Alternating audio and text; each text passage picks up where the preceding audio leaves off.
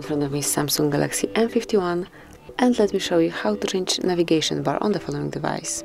So as you can see currently we are set up with button navigation bar. So here we've got home button, back button and recent item buttons. And if you'd like to change it, if you'd like to apply gesture navigation, you have to open the settings. Now in the search area enter navigation. Is the quickest method. And now click on navigation bar.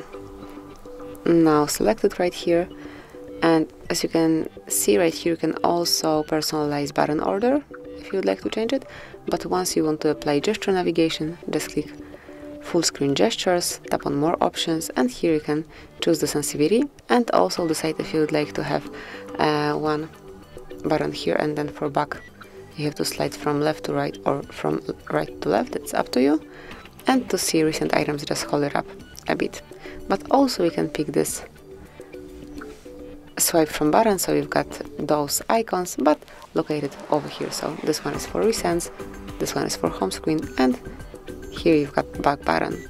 But uh, as for me if you would like to use gesture navigation this option is more com comfortable so I will pick this one. And this is, this is how you can set up gesture navigation. Thank you for watching. Please subscribe our channel and leave the thumbs up